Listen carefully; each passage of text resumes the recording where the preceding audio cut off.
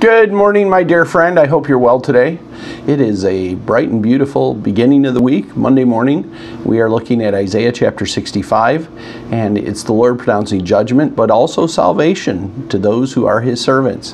Verse 13 it says, Therefore, thus says the Lord God, Behold, my servant shall eat, but you shall be hungry. Behold, my servant shall drink but you shall be thirsty. Behold, my servant shall rejoice, but you shall be put to shame. Behold, my servants shall sing for gladness of heart, but you shall cry for pain of heart, and shall wail for breaking of spirit. You shall leave your name to my chosen for a curse, and the Lord will put you to death.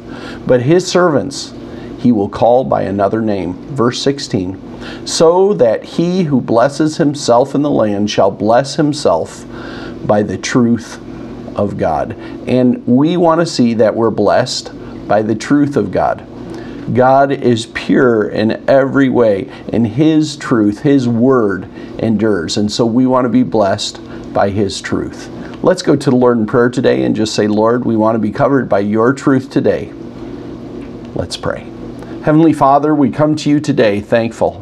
Lord, you are faithful.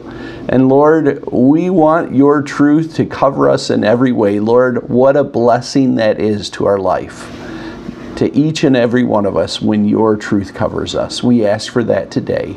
In Jesus' name, amen.